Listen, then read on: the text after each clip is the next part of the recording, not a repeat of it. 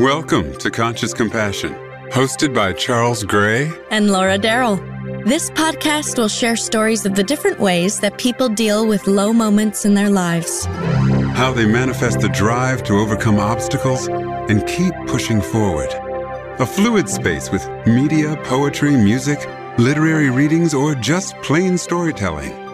Coupled with in depth interviews of the storytellers so that listeners can learn, relate, and be inspired. Spend a moment with us as we explore creative coping strategies for these chaotic times. Conscious Compassion, where, where we, we, share, share because, because, we care.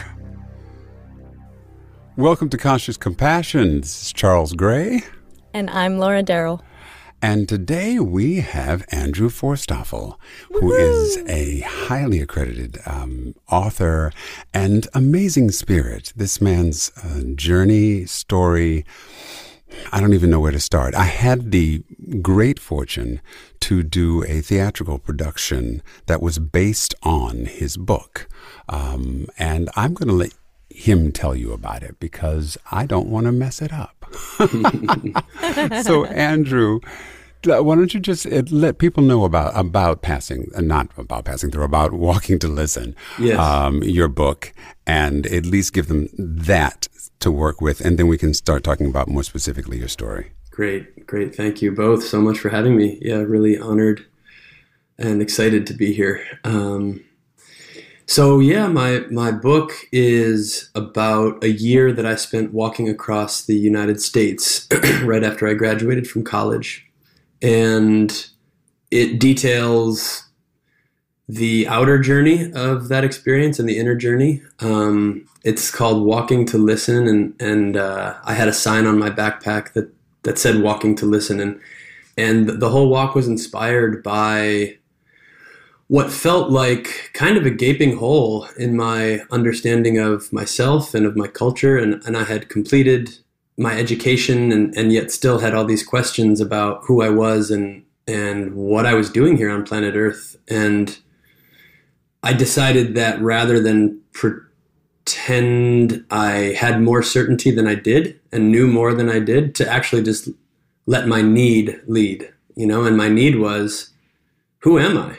And um, I don't think I knew it at the time, but I, I, think I had a really profound need, and I would say still do, to connect with people and to connect with a diversity of people um, with different perspectives on growing up and on living life. And um, I had sort of existed in a bubble or, or, or, just various bubbles up to that point in my life. And, and now that I had graduated, I was, I was kind of just like, um, yeah, I've got to like, I've got to dive into the abyss. And um, what I began to find on that journey, um, I, I, love that the name of this show is Conscious Compassion. And, and um, again, I, I wasn't really conscious when I set out on this walk of what all I was committing to, but what I can see now, the walk was 10 years ago. Um, I, I can see now that what I was committing to was essentially like at the at the essence uh, of what I was doing was committing to myself and committing to be able to somehow be with myself no matter how rainy it got or how hot it got or how lonely I got or how terrified I got or how full of doubt or angry or self-loathing you know like all of those mind states that we are all going through to various degrees and in various ways every day the walk was kind of like a a microscope you know? And all the time i had alone walking on the road um, and not knowing where i was going to sleep at night um, and and and putting myself in a position uh, I was going to say putting myself in a position of need, but really I think it, it was putting myself in a position that prohibited me or prevented me from forgetting that I'm always in a state of need. You know, every one of us is constantly in need of something, if only the next gulp of air. You know, we're all we're these needy, beautiful, needy hum, human beings, and and that's not a weakness. That's the source of our I, th- I think it's the source of our connection to, to our power which and our power our power is in our interconnectedness you know we need each other we need the elements we we need and the walk began to reveal this truth to me um, and but it was a, a uniquely a unique way to go it, about it, and yeah. and you were a unique person to be able to do it. Yes. Because I mean, let's let's. It's one of the things that I think became a theme for us as actors doing your story was it became very quickly evident that if you looked different, this could never have happened. Mm. Mm. You know, yeah. um, uh, I was just thinking about as a girl if I would have the guts to do because yeah. I, I went backpacking around Europe with a mm. friend um, back in 2008, mm. and there were some situations where if I hadn't had a male companion, mm-hmm. um, and, and I know girls who do it, so I'm I'm not saying like it's impossible. I know girls who are brave and do it, and they don't even think about it. But, um, but I got into some scrapes that I I was mm. so hmm. glad I had a guy to be like, well, this is my boyfriend, and yes, and he wasn't yeah. my boyfriend. Yeah. um, yeah. Did that ever cross your mind, or or and like were you ever scared or worried? Oh yeah. Yeah, yeah, it did cross my mind. Um, I'm white. I present as straight and I look like you know, yeah, I look like your your everybody's sort of, favorite nephew. Yeah, yeah, your your average hetero dude, uh, white dude, and and and I was I became aware of those sort of like socialized identities in in a way that I just frankly hadn't been before this before this walk. Sort of being far away from anyone I knew and far away from any kind of place that was familiar to me.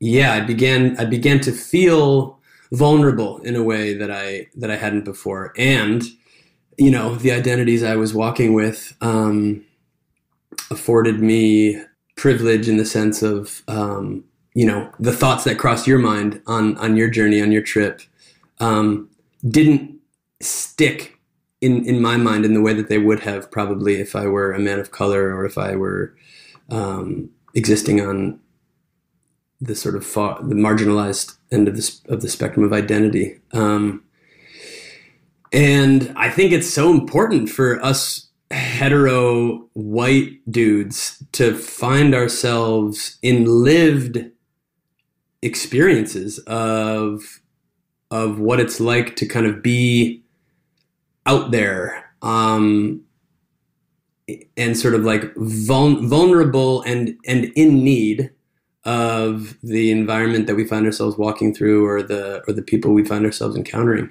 Um, and that's i mean I, I actually i don't know i hesitate to make grand sweeping statements about what other people need but but i, I can say that i needed that experience to begin waking me up to sort of like the invisible and unconscious privilege that I was carrying, and then to learn about okay, I was born into this body and into this sort of cultural societal story, and what is what is the like maximal way for me to sort of flex whatever power I do have, and what I began to find is that, at least for me, it had to do with offering people the fullness of my presence um, which may sound i don't know how it sounds maybe it sounds arrogant or narcissistic. It's like well the, the best thing you could do with your power is like give people your presence you know? But let me explain it a little bit. It's like slowing down enough to see clearly through my own projections and assumptions about who that person is to slow down enough and, and to do enough inner work in myself to see through the haze of my illusions about other people, to, to actually see through to the heart of who they truly are. And we live in a society where people kind of aren't really doing that a whole lot, you know? Not at all. Taking time to really see the divine in each person, actually. We're not rewarded for that. We're rewarded yeah. for ranking each other on quickly. social media and yeah. judging each yes. other quickly and yeah. right Yes. You, assess, you learn to assess people. Right. You you categorize them. You you you give them your own set of this is this is this is what you are. Yeah. And therefore, this is how I'm going to treat you, Right. or this is how much attention I'm going to give to you. Yeah. Whereas um, your amazing openness really is about seeing each individual person and and being open to to whatever it is that they have to offer mm-hmm. and and not not putting up those judgments in front. I mean, I think I know it sounds silly, but it, it, it was profound for me. I, one of the things that mm. I will never forget. Um, we finished the first performance when you all, you and your mother came to the show. Mm-hmm. And I, for one, being new to the show, I mean, it, it had had a number of iterations prior to that particular production. So I was new to the mm. Whole thing and I didn't know you. I didn't know anything about you, honestly, before the show. Um, and, um, there was a lot of excitement. Oh wow, you know, Andrew and his mom are coming and everything. And I, all I could think was, Lord, I don't know what he's going to think. Yes. This is it's so strange to do a show with the person being not just alive, but you know, there. Um, and you know, I didn't carry the weight of of Max or anything. I wasn't playing you, thank goodness. But there was, you know, a lot a lot weighing on it. And um, when I came out into the lobby, you know, you just looked me dead in the eyes, and the first thing you said was, "Can I give you a hug?" And I was like, "Hell yeah!" it was just like okay but it it completely disarmed everything E- all the concern all the mm-hmm. nervousness all the oh gee i hope they liked it all of the mm-hmm. others all the stuff that could have been mm. um and the posturing that I think I was mentally prepared for, you know, because you know you are you are the author, you are the you are the everything. Um, You are the everything. Yeah, I am the everything. but, but but you know what I'm talking I- about. yeah, like, sure, If, if you go into a, like a New York situation, the first time you're you're, You're the reason the show's happening, so you're you're a exactly big deal. One you of the know, reasons, and, and yeah. if if One you're of the in like these bigger productions in New York or something, it, it doesn't have to be it doesn't have to be the author. It can be it can or the subject matter. It can be a producer.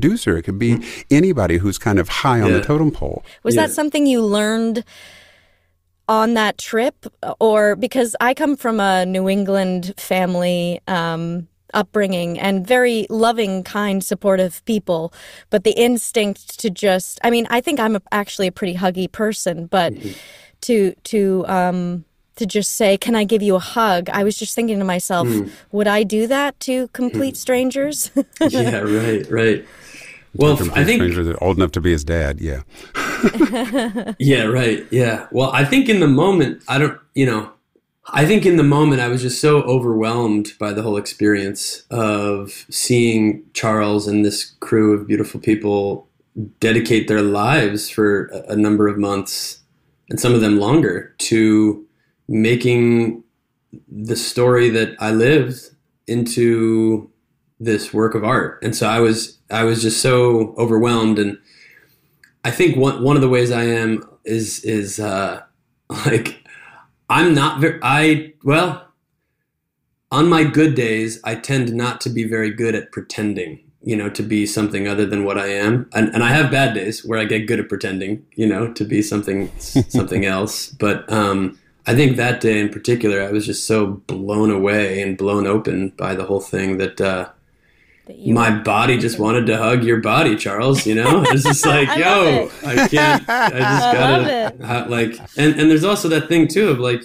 we're only alive for a short amount of time here, and uh, how do I want to?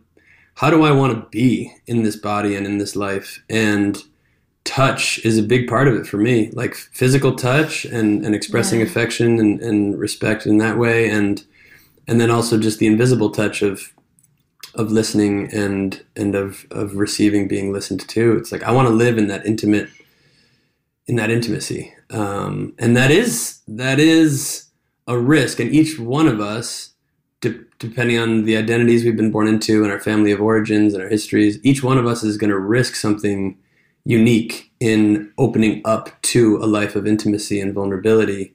And for me you know what do i risk when i when I choose to let my heart love in the way that it was born to, um, what makes it hard for me to do that, um, I'm still finding out. But I mean, I, I was thinking about this show and like what, you know, where where did my path? Where did I begin? Like walking the path of of conscious compassion and and uh, compassion. I think means etymologically, I think it means like to suffer together or like to suffer with or something like that.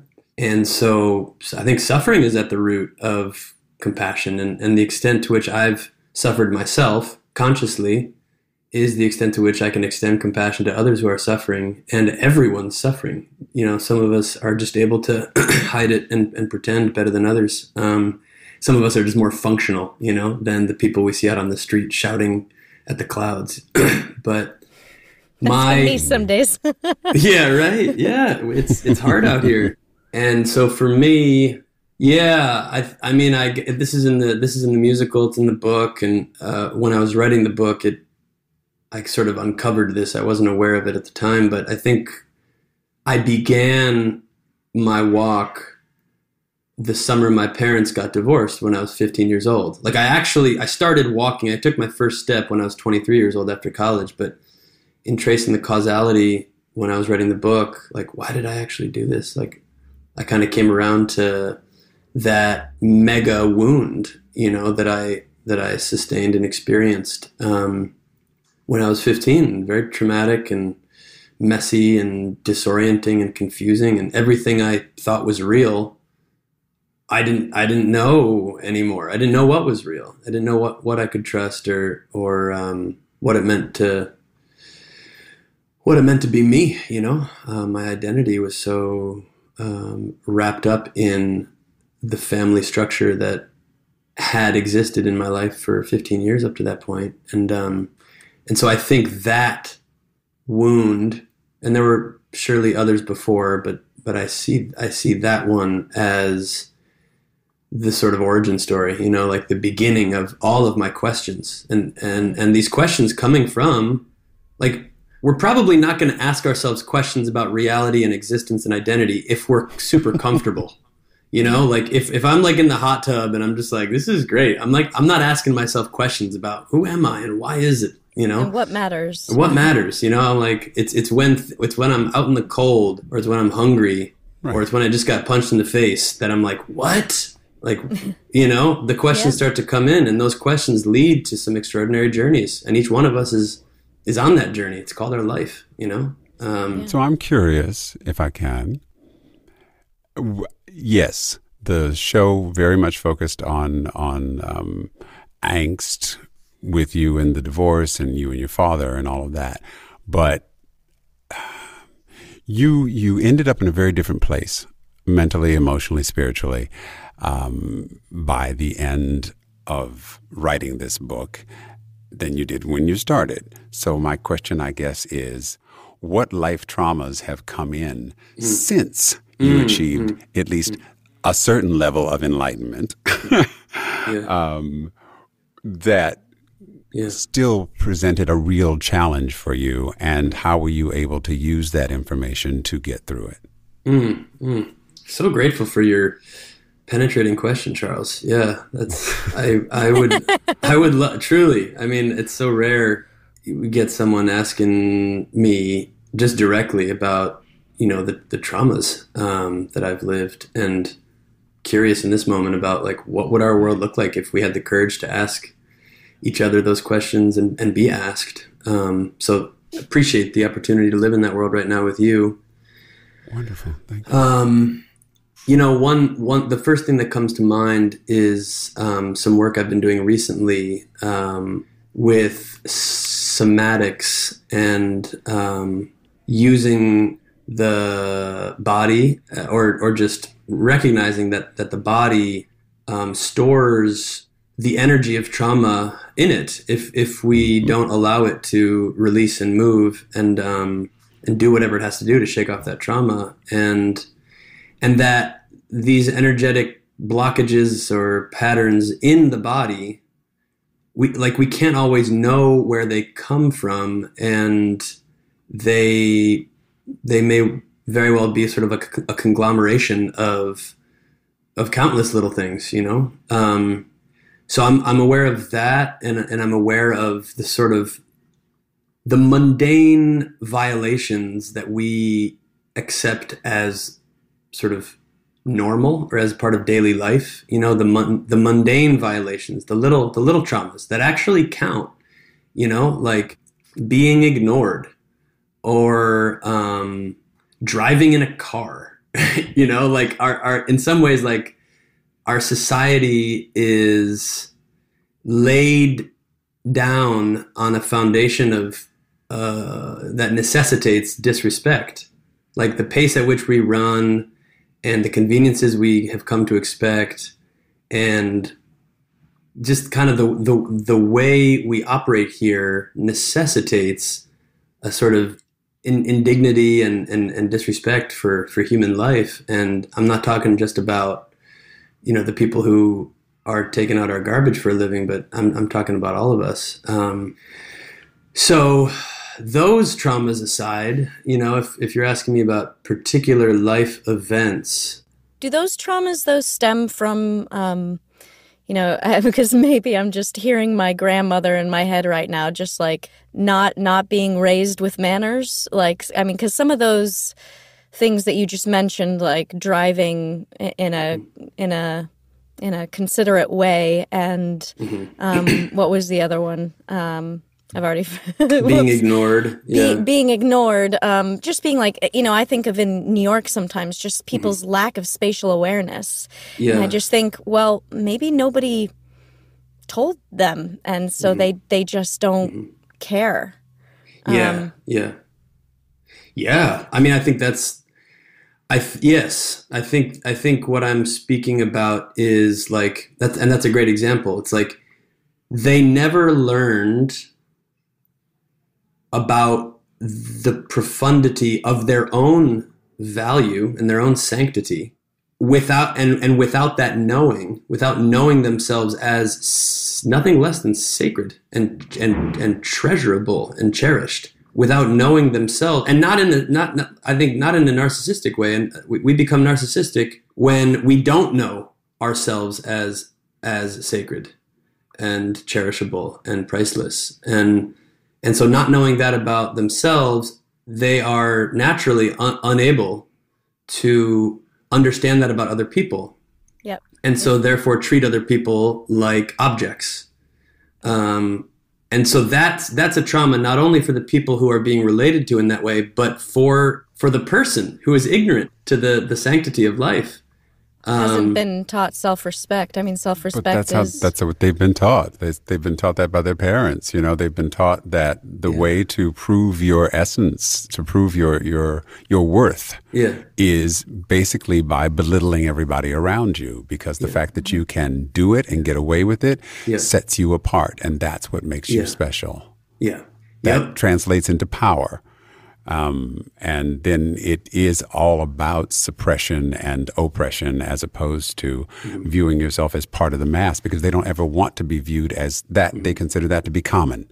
Mm-hmm. You know, right? Yeah. Um, you they would never ever ever want to be compared yeah. to someone that they consider to be beneath them and yes. they're forever ranking other individuals you know whether or not they're even worth their time i've had unfortunate conversations with people where I thought I thought we were communing as as two mm. equals and just sharing information and somewhere very casually mm-hmm.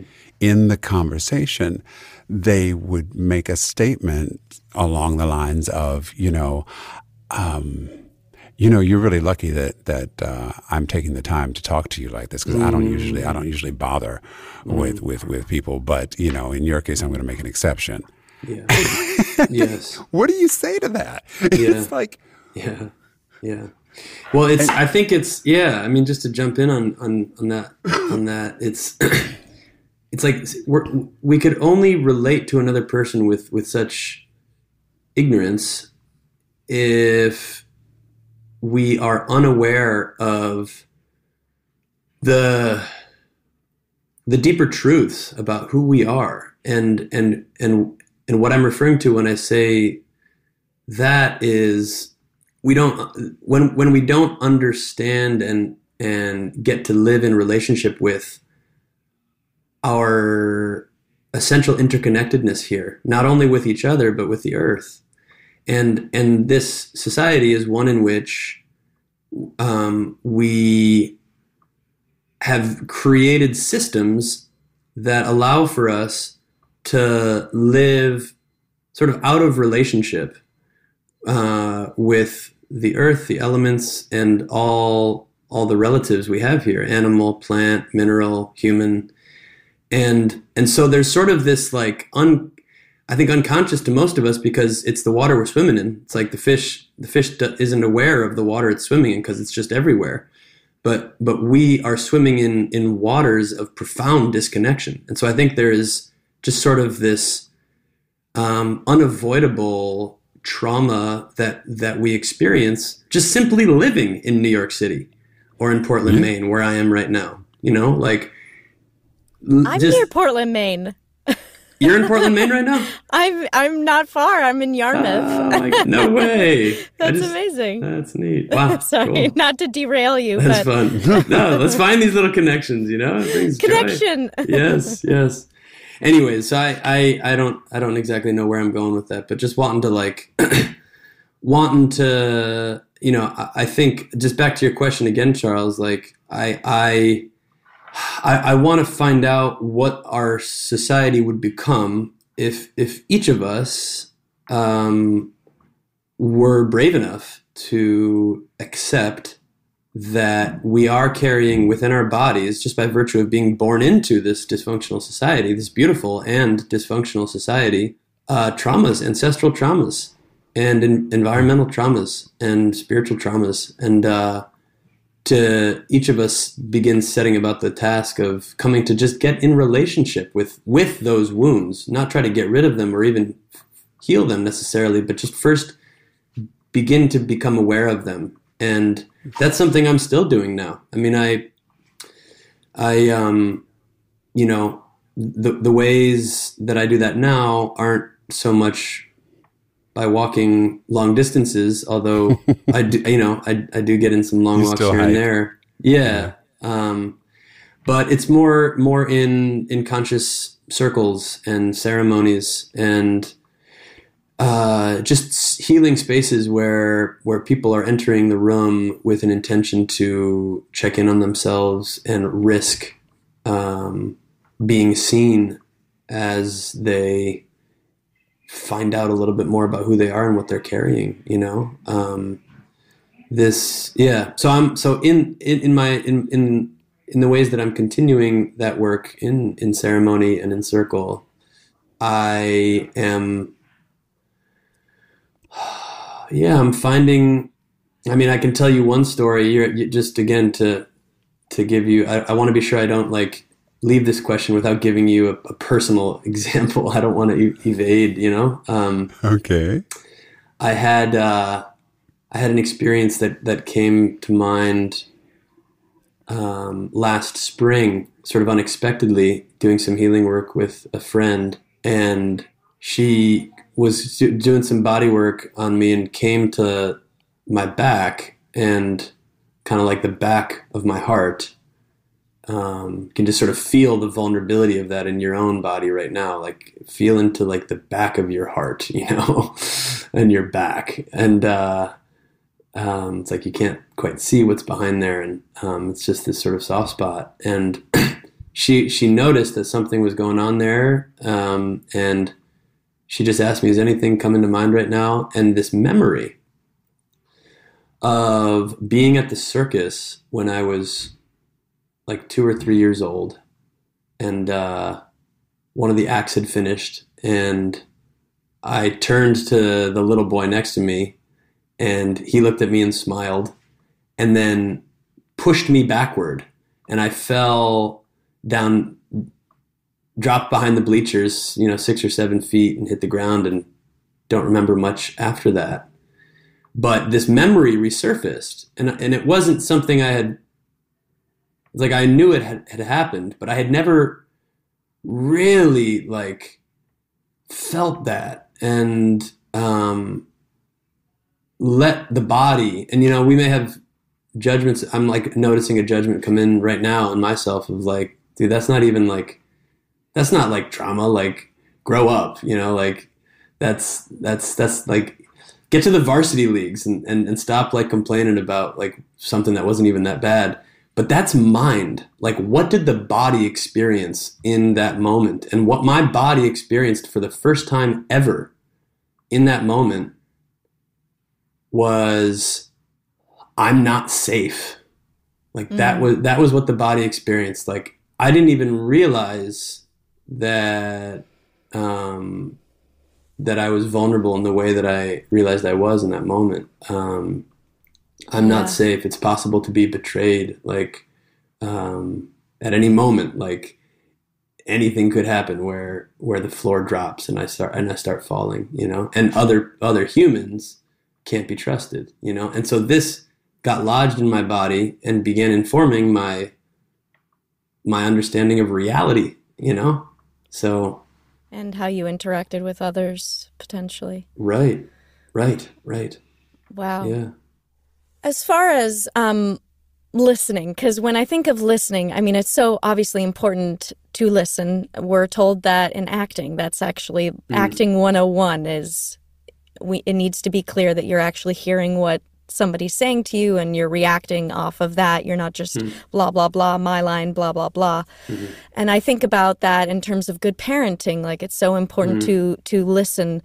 But then what do you say to the people who then, you know, when the toddler's screaming or somebody's reacting in a really unhealthy way and and listening it's not that listening is the problem but rewarding that behavior mm-hmm. becomes mm-hmm. an issue what what do you say to that? Is that a misinterpretation or misread of the situation or what should what should happen in a situation that's that volatile and hard to mm. pin down? Or, or at least you're you're unsure of whether you should keep uh-huh. keep rewarding it with your attention. Yeah, yeah. Mm. Well, I mean, I think the first thing I have to say is just I bow down to all the parents in the world right now, you know, who are walking this path of living with children and um, entering into that crucible. I don't have kids myself, so you know, anything I say in response to this will will will be coming from kind of a fundamentally uninformed place.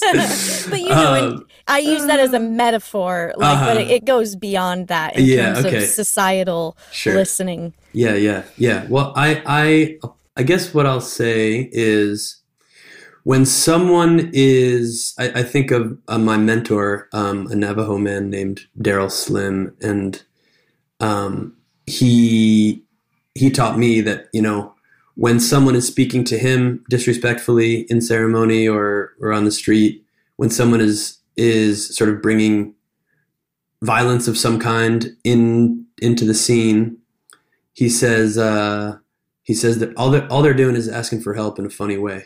And that's what I say to them. That's a funny way of asking for help. Um, so mm. for me, what I try to do is remember that and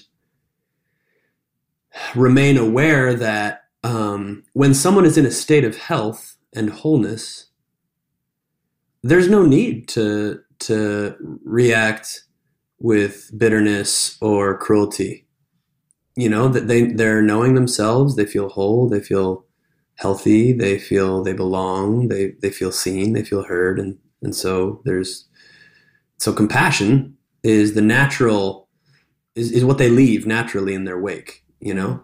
So when someone is acting in a different way i try to remember that it's an indication of their sickness right now Mm-hmm. It's it's a symptom of of a disease they're going through in the mind, in the body, or it's or it's a wound that they're unaware of, um, and or or that they're you know maybe somewhat aware of, but haven't received the help they need, the support they need, and I, yeah, I struggle with that because when I when you walk with that perspective, it's hard not to like see everyone as a sort of yeah traumatized and and diseased individual praying, praying, crying, begging for help, which I am. We are. Yeah. You know, um, and so where is the where is the how do you hold that awareness you know um, i know in in buddhism they talk about the quality of equanimity and uh, how you need this quality of equanimity to ground your awareness of suffering which is where your compassion comes from and so the equanimity of like yeah i see you you know and so to your question i think for me when I'm encountering something like that, it's just a question of how do I see this person clearly? Because, um, you know, when I see someone else's suffering, a lot of times it'll bring up judgments in me of them, right? Right. And those yep. judgments are coming from the place where I'm either unresolved in my own healing mm-hmm. um, and I'm projecting something onto them, or the where I'm reaching the limit of my ability to listen and provide space and and witnessing. And so for me it's just a dance of, you know, help me see this person clearly and at the same time put myself where I need to be and stay where where I need to be in order to remain authentic and true and basically not giving something that I don't have. So yeah. it's yeah, it's it's it's live every time. Certainly no formula, um, and kind of like improv, which I haven't done, but I imagine it's a bit like you know, yep. like we're all kind of improvising, trying to do our best to show up to people and failing along the way and learning as we go. You know. So, is there a technique that helps you get into? Isn't that natural though? Mm-hmm. Yeah. Yeah. Yeah. It is yeah. natural. Is there a technique that gets you into listening, or when you when you're struggling with that, when you're struggling with um, maybe something internally that you're you're having trouble relating, or yeah, um, when when a situation comes up that you can feel the resistance and the walls mm. starting to build. How mm. do you mm. how do you dismantle them? Mm. Well, I mean, first again, got to lead with just being real. Like I don't always, you know, like sometimes it's just a wall and I'm like, I, this is just here. And, uh, and I'm not interested in dismantling it right now. Like I gotta, I gotta get to that meeting or whatever. Yep. So there's the pain of that and the reality of that in me. Um, and then there are just moments where I, you know, sometimes just by grace and, and when I'm getting my needs met, I think that's that's probably the first thing. The first concrete thing I would say is like I'm learning that it's really important that I am attuned with my needs, my physical needs, my emotional needs, my spiritual needs, and that I'm doing what I can to get those met so that I can authentically be there for uh, someone else. Be there for someone else. Because if I'm if I'm starving, I can't feed someone. You know, that's like caregiving 101. Right. You know, if you've ever had to take care of somebody who was, mm. you know, just literally couldn't do anything for themselves. Yeah. And the first thing that every doctor, every hospital, every support system will tell you is that you have to take care of yourself first. Yeah. Yes. Uh, because otherwise you can't possibly be there for someone else. It's, it's what they say um, on the um, airplanes. It's what RuPaul preaches from the pulpit. yes. it yeah. keeps coming but up. It's true. yes. It it it ab- absolutely true. You know, you have to be you have to be there for yourself so that you will have the energy uh, to be there for someone else. Uh, sorry, I have been absent for so much of this. My internet has just been hell. I don't know what's going on. Normally, it's actually absolutely fine, but um, I have missed more than I cared to. Um, back to the world of pointed questions, and I apologize in advance. oh, all good. Bring it on. Um, so you know, life is life. Yeah. And it happens to all of us, and that is that is the the big universal connector. Um, and no matter how how piously or perfectly one one lives it, you're still going to get slapped in the face with some stuff because that's just the way life works. And I guess I'm wondering what how you handle things when something hits you that puts you completely off kilter. Yeah. Um, I'm thinking of another another line my mentor Daryl um, shares a lot with me uh, is is just this phrase touch and listen touch and listen and so when something throws me completely off kilter there's there's the pain of that but then there's the compounded pain of resisting it, you know? And so I think when, and I mean, I can give you a concrete example. I, I this fall and this winter were were really hard for me in ways that I kind of haven't experienced before. Just feeling, I made a move, a, a geographical move, and um, to Maine. To Maine, yeah, and and was just feeling transplant shock and confusion and depression and mm-hmm. what am I doing with my life and how am I going to freaking pay my rent and what have I been investing myself in? My path has been largely a sort of pathless path. And I'm like, wait, have I been just like sitting on my ass the last few? like, what am I doing? You know, like, show me the evidence, produce something. Where's your resume? Ah, just this like really intense voice, just like rising in my mind and, and a lot of fear and, and um, shame and just, yeah, it, it was, it was a hard winter for me. And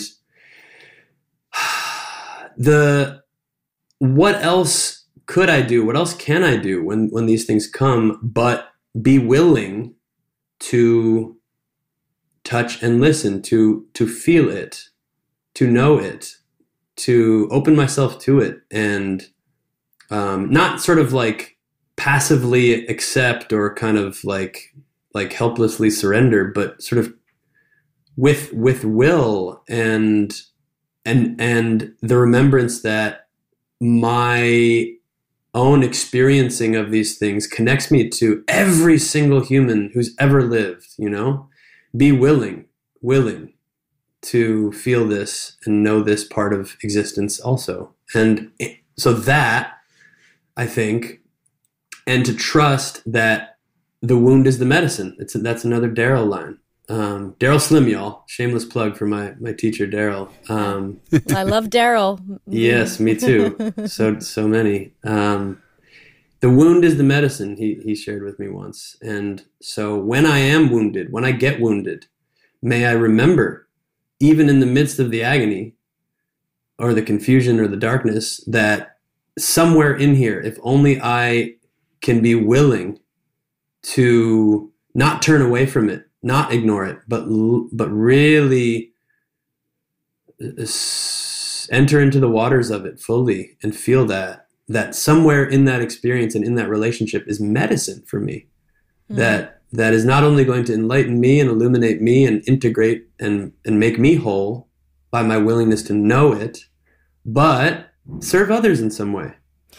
Do you think we resist? Because uh, I I'm I've had a moment not too long ago that was precisely like what you're describing. And is it is it the need to fix and the we don't want to sit in it because yeah. it feels like we're not doing anything practical to fix the problem. We're just kind of sitting mm-hmm. in our own, you know, dirty yeah. bath water is what we, or that's how we, uh, that's how our twisted minds yeah. see it. Mm-hmm.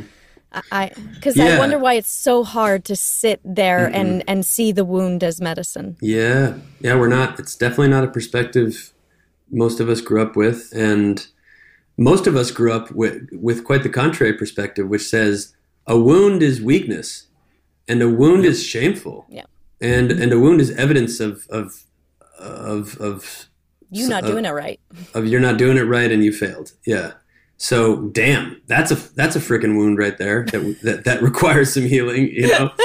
um, and we can't do it alone. Is the other thing I was going to say is like when I'm in my dirty bathwater and just in it, um, there's there's this additional wound we have to heal. Most of us in this society that of of, isol- of isolating ourselves, you know, of uh, what we're talking about here, and and so finding a way to reach out to people to be witnessed in our suffering and be seen and be helped you know is is something that's it's it's essential you know it's like the mm-hmm. image that came to mind as as you were saying this is the, the, the metaphor of birth a mother giving birth or of any one of us dying you know is as we go through those processes there's nothing anyone can do to like do it for us and there's no fixing it and there's no stopping it.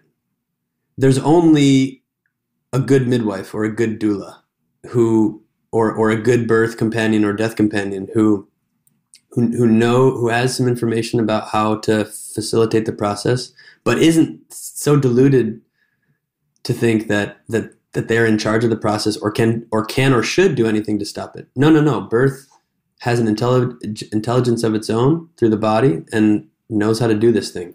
Death has an intelligence of its own and knows how to do this thing through the body.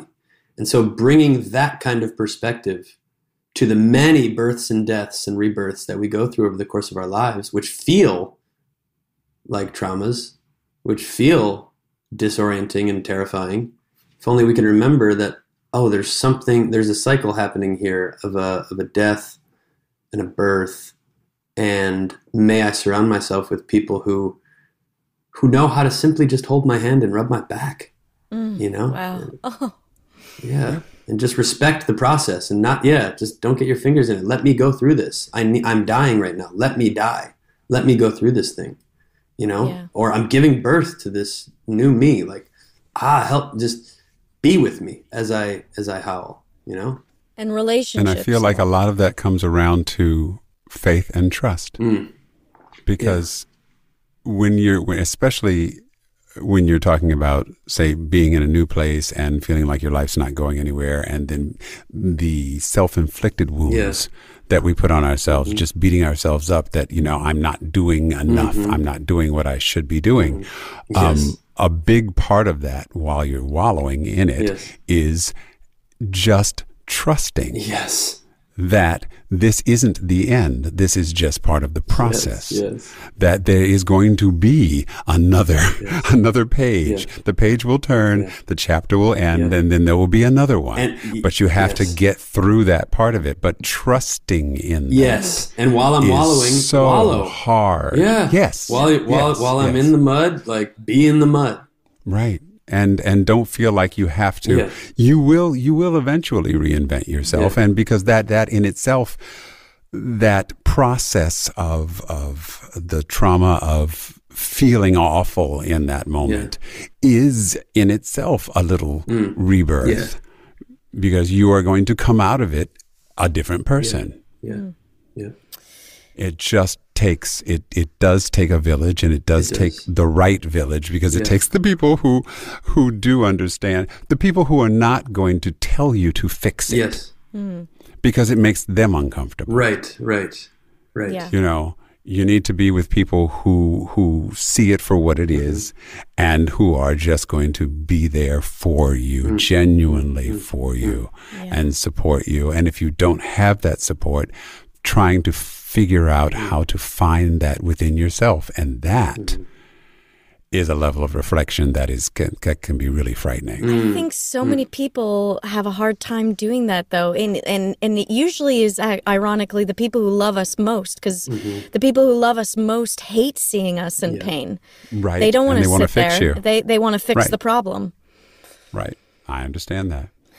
And but uh, they had to go through it, and you're going to have to go through it, and everybody else is going to have to go through it. And yes. at some point, you just have to learn how to to recognize it, and sometimes that that can be the hard part as well, you know, because we don't uh, yeah, learn to recognize. We have so many different ways that we um, kind of push it off and try not to acknowledge it ourselves and try not to accept it ourselves. So we start taking it out on everything mm-hmm. and everybody yes. around us.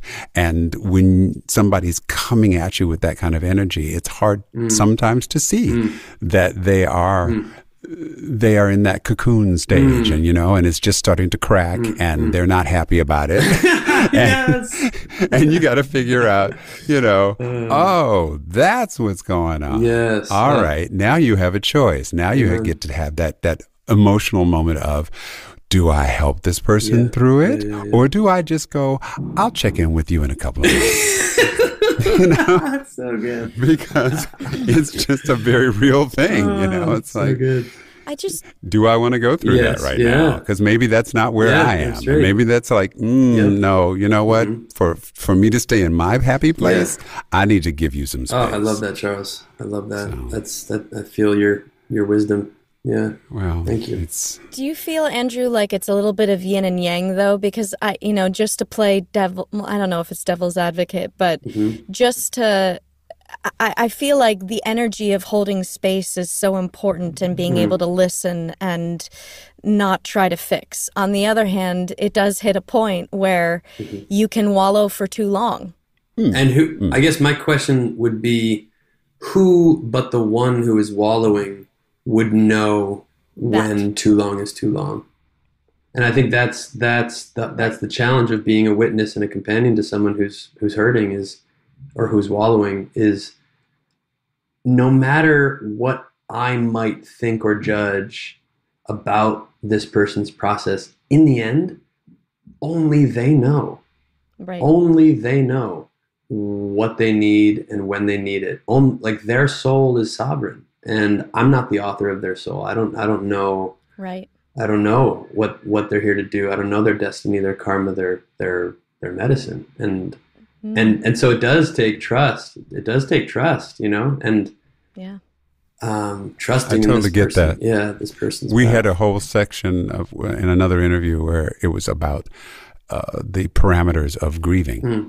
you know, and and the fact that there there is no one way or right way to grieve, and no one Hmm. has the right to tell you When when, you've when, when you've enough. achieved it. Right. Yes. You know, when it's when enough is enough. You know, there's there's it's going to last for as long as it's going to last Right. with Right. you, you know, Right. and it's probably going to come back and peek and, and grab you when you Mm-hmm. least expect it. Right. You could be walking down the street, licking on an ice cream cone on a hot Mm-hmm. sunny day, couldn't be better, and then all of a sudden you see something and bam, it slaps you in the face. And, you know, that's something that you just have to deal with in your own time. And I think eh, similarly, it's, it's kind of the same thing. Mm. If, if you're in that moment, um, you just have to allow it to take its run its course but you still i think as an observer have to chime in when you see other things happening Hmm. that give you the impression that this is turning into Hmm. something that is Mm-hmm. malignant Yeah, and maybe that's and- maybe that sort of and going to, to like kind of turn the corner and become something else because if it's going to fester Yeah.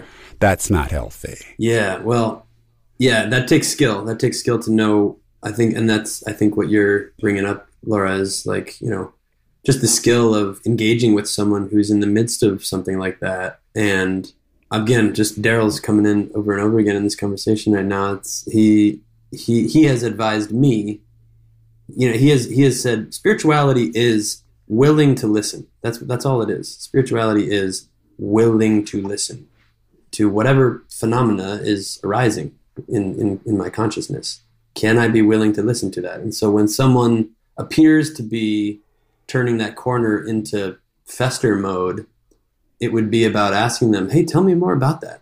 Like, t- t- tell me all about it. Tell me, tell me every little thing you can about the choice to turn that corner. What's it like? And can I ask those questions non-manipulatively. You know can i can i ask them really genuinely curious about wanting to know what what that's like as opposed to bringing to the questions an agenda which Mm. which might disguise actually certain judgments about right or wrong or and people feel that you know we know when someone's really asking us a question from a place of unknowing or whether they're Right. asking a question of you know which is basically a, a judgment in disguise. yeah um, so that's a challenge it's a challenge to really That's that was enlightening. I like that. willing. That was good. yeah be willing So the mentor has been big for you. What about um, your spirituality? You said um, that that's been big for you in terms of yeah absolutely i mean His your driving easy force. check-ins or Y- yes, yes. Um, yeah, spirituality to me, I, I, I sort of, I have undergone a sort of revolution in my own understanding of what that word refers to. Um, and I, I would say that transformation began with my walk and has continued since, certainly in my studies with Daryl and, um, and in other healing spaces that I've found myself in over the course of the years. But spirituality to me is a way of life. It's it's a it's Mhm. it's it's not some it's not something somewhere else It's and it's not in reference to a certain something. You know, it's it's everything. It's mm. it's it's a perspective or a, a realization that I am I am this universe. Everything that I perceive and every one that I perceive is this universe. And we are mystery and we are paradox and we are sacred. And I don't know what sacred means, but I but I know it is. And so my life then becomes an answering of the question, what what does it mean to know myself as sacred? Um, that to me is the humbling path of spirituality because I say humbling because it it takes me if, if I'm genuinely attempting and endeavoring to to really live that question like Rilke urged us to live the question. If I'm if I'm actually if I give it a college try, you know, if I really give it a shot, what I'm going to find is all of those places where I'm living out, of integrity with with that principle. You know, it's it's you know, I didn't relate to uh, to the person at the DMV this morning with the kind of sanctity that they that they deserve. Uh, you know, like I, I, I just didn't. I failed. Yeah, I tried. I did what I could. You know, it's humbling. It's really humbling. You know, yes. to bring that kind of attention to to the moment, to the to the dandelion, to to the box of Kleenex right here. You know, to each of you right now, to myself. So we can only do so much. Yeah. There are so many moments where I I am consciously trying to, I, I recognize a pattern. I, will walk into a situation. Uh, the example in this case is going to be my, my environment here. I'm, I'm in South Jersey and it is, it is fairly monochromatic. And, um, so I will walk into, um, one of the truck trucking and lumber supply stores or something. And I've already got this preconceived idea of who I'm going to mm-hmm. be dealing with, and I'm and I've got to walk up to this counter and I've got to ask this person a question. Mm-hmm. So I'm I'm I'm set, and I go in and I'll go in and I'm like, okay, I'm going to I'm going to approach this with positivity. Mm-hmm. I'm going to be as pleasant and as warm and as genuine as I possibly can be, and see what comes at me. And sometimes, sometimes to my great relief and surprise, I get the most oh, genuine no. and warm and kind and wonderful people. But yes. then again, there are those moments where, yeah. you know, I will start and I will come off with, and the more warm I am, mm-hmm. the more pulled back they become. Yeah. Of course, yeah. and they are they are. Uh, it's it's almost like it's offensive to them. Like you know, can't you just ask the question and go away? Yes. You know, they don't want they don't want any kind of yeah. social normity, just warmth, greeting, yes. hi, how you doing, how's your day, like none of that.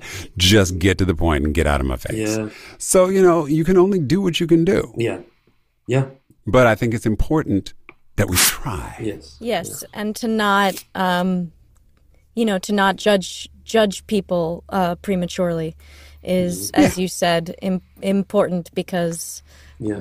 we we can start projecting and seeing seeing stuff that's not there yeah. also. Right. Yes. Or create it. You can mm, manifest mm. it. Because if you if you approach it with if you've got that face on that says mm i you know? Yeah. I know what you are. Yes. Then um they're gonna give it to you. Yes. Yeah. Well I'll, it makes me think of maybe maybe i can leave you all with this little story. It's uh, it's it's it's it's from the from both the Buddha and my dad. so what a combination! Yeah, yeah, yeah. He's in good. He's in good company. Little one-two punch. Because yeah. it's your dad, I'll listen. nice, nice. Well, the, the the I'll circle back around to the Buddha maybe, but I was with my my friend a, a few years ago, and uh, he was telling me about what it's like to have his his newborn son in his life. And one thing he said was, I can't imagine anything worse than to grow up only to have my son hate me. Ooh. I can't imagine anything worse. Torture, bankruptcy, like nothing worse than to have my son end up hating me. And we both looked at each other and we were like, I think we need to call our dads right now. and so I called my dad, and um, he and I had been through a, a long and, and challenging and, and beautiful journey together in, in our relationship. And I had gotten to a point where I had come back around to my love for him and you would tell him I love you and, you know, um, felt less charged than it did um, in, in the years after the divorce. And so I called him and I said, dad, I, I know you know I love you, but I want you to hear me say, just in case there's any doubt, I don't hate you. I don't hate you. Hmm. And he was like, um, I'm so glad to hear that. I mean, for me, of course, but honestly, mostly for you. Because for you to be walking around with that hatred or that anger or that judgment is hurting you more than anyone else. Yep. You know?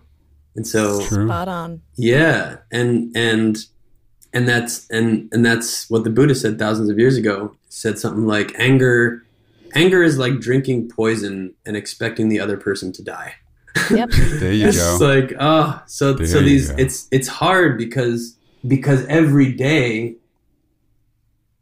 we, we encounter in ourselves and in other people indignities and violations and trespasses and ignorance and just pain tremendous amount of pain. And and there's that temptation to from in me at least certainly uh, to to judge and to feel infuriated and maddened and, and just full of to, to basically drink from the chalice you know uh, that poison. And i guess to just you know when i do when i do find myself in judgment to just taste it to really feel what it feels like to to find myself in that posture um, and i think in doing so it informs us it's like the more we pay attention to what it's like when i go on a bender you know the more i pay attention To to it what feels. it actually feels like when Yeah. i drink that stuff sucks. It's awful. it's it's yeah it's like okay cool i i i can learn you know like i can learn um so i don't know that was just a story that came to mind um No, it's a good one. It's a very good one because also the fact that that's not an experience you're only going to have once. yeah It's not a lesson that you're going to learn Right, right, one right. time. oh my god yeah You're going to repeat it. yes And hopefully each time it's a little bit shorter. You recognize it sooner. You figure out a, a way to get out of Yeah. it faster. But uh, it, it, we have to keep reinforcing it. yeah and and the way you just said to get out of it which i feel like i've heard echoed in so many different things and what we've talked about this whole hour is is being aware of our feelings like Yeah. taking stock because if we honor Hmm. what we're feeling and we realize that while we're being self-righteously angry about something we feel bad then it's like well that doesn't make sense. Do i want to feel bad? Do i do i want to be in this place? Because the only person who's making me go here is me. Yeah. Mm, mm, mm, mm. Right. that's that's Right. power right there. That's sovereignty freedom Wow, thank, Thank you, you. Andrew. Thank you so much. Thank you. This has God, been really, such really wonderful. Yeah. Covered the gamut. We went everywhere and we we Yes. danced wild together Thanks for joining us for this episode of Conscious Compassion. We'd love to hear your input and to hear what you do to make it through. you can reach us on our website at consciouscompassion.net. We've got some amazing interviews coming up that we can't wait for you to hear. Until then, catch you next time. I'm Charles Gray, And I'm Laura Darrell. Conscious Compassion, where, Where sharing, is caring.